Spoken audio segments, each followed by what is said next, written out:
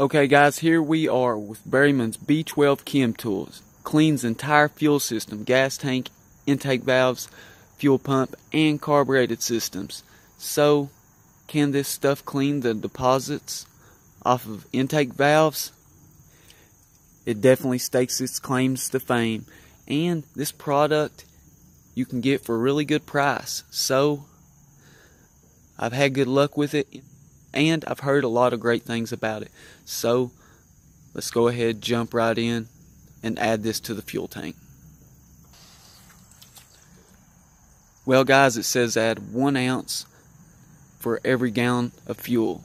So, as you can see right here, one ounce per gallon of gas. Add before refueling to ensure proper mixing for continuous fuel system maintenance. Use B12 fuel injector cleaner every third tank. So let's go ahead and add it to our fuel system.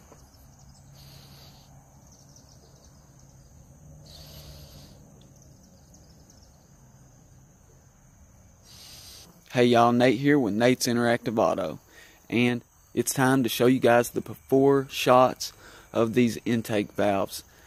We broke out the borescope cam and we're definitely ready to put it to some good use. So let's go ahead and jump right in. Here's the before shots. Man, these valves definitely look rough. I really want to see if this stuff works. I'm excited, so let's move on to the second valve.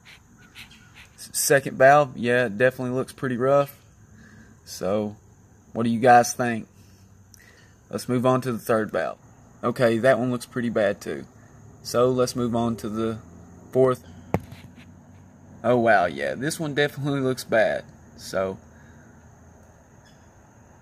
let me know what you guys think. Do you think any product could help these valves? And if so, which one? Or do you think this product is actually going to work?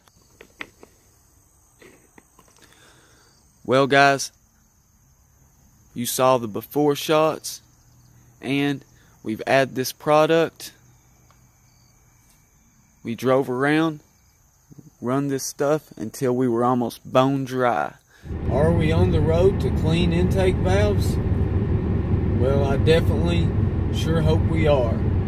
So, let's go ahead and show you guys what it actually done. But first, let me know in the comments below. Is this stuff actually going to help? And these valves are pretty bad, so, you know, maybe a second or third treatment could actually show a major difference. You know, do you think the more we use, uh, we tried this in the seafoam video, but anyways, let's jump right in and see if it made a difference. Okay guys, here's the after shots. Valve number one. I can see some difference. Let's move on to valve number two. Valve number two, I can see some improvements. So what do you guys think? Did this actually work? Well, let's move on to valve number three. Valve number three, I can definitely see a little bit of a difference. Let's move on to valve number four. Valve number four,